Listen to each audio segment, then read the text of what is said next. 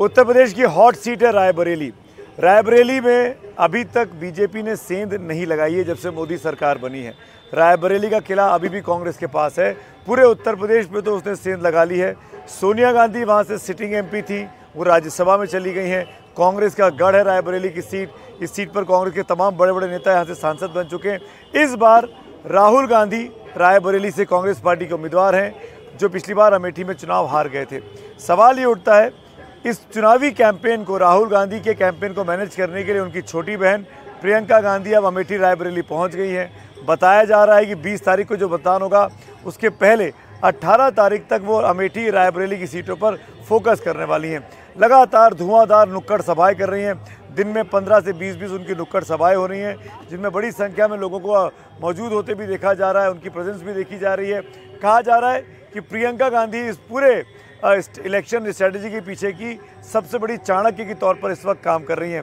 क्या ground study है? इस वक्त रायबरेली में मेरे सहयोगी रवीश रंजन शुक्ला की ये रिपोर्ट देखते हैं।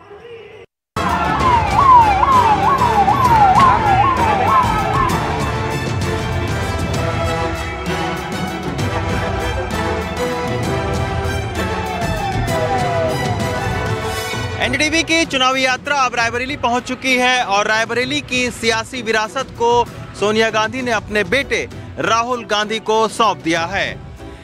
राहुल गांधी को जिताने के लिए बहन प्रियंका गांधी इस वक्त रायबरेली में पसीना बहा रही हैं और बीजेपी के जो उम्मीदवार हैं दिनेश सिंह, उनकी सियासी मुश्किलें क्या है? आइए समझने की कोशिश करते हैं।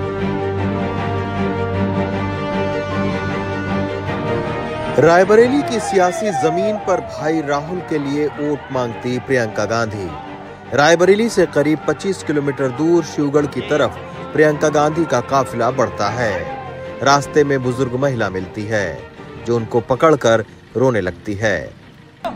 जैसे जैसे उनका काफिला बढ़ता है, उनको देखने और मिलने वालों की होड़ सी लग जाती है।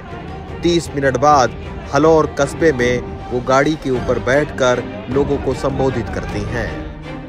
इस बीच उनकी निगाह रोड शो में फंसी, एंबुलेंस पर भी पड़ती है आप देखिए कि एंबुलेंस जो है वो बीच में प्रियंका गांधी की रैली के बीच में आ गई थी और अब जो है वो प्रियंका गांधी ने खुद का अपना भाषण रोक दिया है और ये कहा कि रास्ता रोका जाए, एंबुलेंस को यहाँ से निकलने दिया जाए तो ये देखिए, आप धीरे धीरे जो उनका काफिला आगे आ रहा है, क्योंकि एंबुलेंस को निकलने के लिए वहाँ पर जगह दी जा रही है। ये देखिए, ये अब एंबुलेंस यहाँ से निकली है।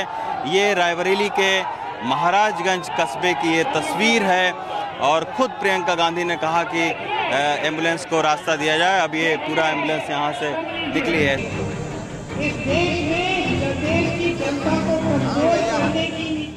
एक ही दिन में 16 नुक्कड़ सभाएँ करके देर शाम वो रायबरेली लौटती हैं। इस बीच वो प्रधानमंत्री मोदी पर तीखे हमले करने से नहीं चुकती हैं। आज देश की परिस्थिति ये बन गई है कि देश का जो सबसे बड़ा पद है, देश के जो प्रधानमंत्री हैं, वो मंच पे जाकर आपको ऐसी बहकी बहकी बातें कह रहे हैं कि एक राजनीतिक दल एक्सरे की मशीन लेकर आपके घर में आकर आपका मंगल सूत्र ढूंढ के निकाल के चोरी करेगा। या एक राजनीतिक दल आपके पास दो भैंस है तो एक भैंस चुरा के ले जाएगा। तो अगर ये देश का के जो राजनीतिक चर्चा का स्तर है इसको गिराने वाले देश के प्रधानमंत्री हैं तो अब आप मुझसे पूछ रहे हैं कि ये मुद्दा क्यों बना? मुद्दा तो ये सब फिजूल के ही मुद्दे बना रहे हैं। हर रोज कोई नया फिजूल का मुद्दा।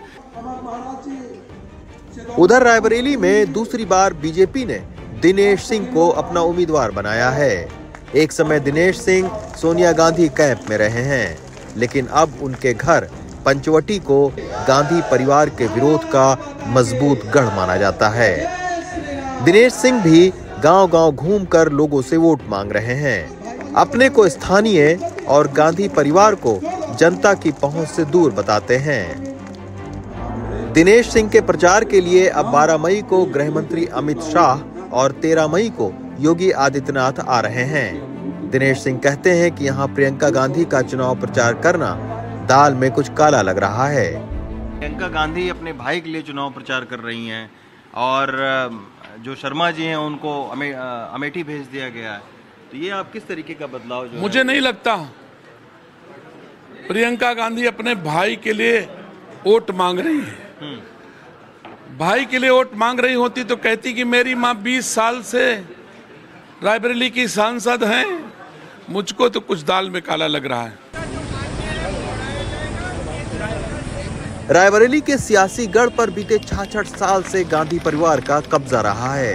एक समय 2009 का था, जब सोनिया गांधी को बहत्तर फ़ीसदी और बीजेपी को महज तीन फ़ीसदी वोट मिला था। लेकिन 2019 में बीजेपी को करीब 38 फ़ीसदी और कांग्रेस को करीब 55 फ़ीसदी वोट मिला।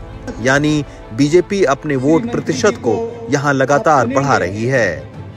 वैसे रायबरेली में कांग्रेस की मजबूती के पीछे राजीव गांधी विमानन विश्वविद्यालय, पेट्रोलियम प्रौद्योगिकी संस्थान और राजीव गांधी फुटवेयर जैसी संस्थाएँ हैं, जिन्हें लोग आज भी याद करते हैं। लोगों के बीच में चर्चा चल रही कांग्रेस जीती है सब कहा है। कांग्रेस जीती? हाँ कांग्रेस जीती। और बीजेपी? ना जीती। और पिछली चक्कर चाचा आप लोग की का दिए रहो कोई कहा? सोनिया गांधी लड़त रही। तो सोनिया गांधी दी ना। अच्छा और इस बार राहुल लड़ रहे राहुल हैं? राहुल विद्या पे। अच्छा हाँ। तो राहुल कुछ करवाई नहीं मतलब राहुल राहुल तो वही तक उबे नहीं फिर पहली बार आ रहे हैं। इनके दादी दादा सन बावन से लेके आज तक राबेली का को, को जनते भी की राबेली कहाँ है? जंगल का। उन्होंने के बनाई आया रायबरेली? हाँ। अच्छा। उनकी बनाई है रायबरेली? हाँ उनकी बनाई हुई राबेली है। जो मैं तो बीजेपी को वोट करूँगा।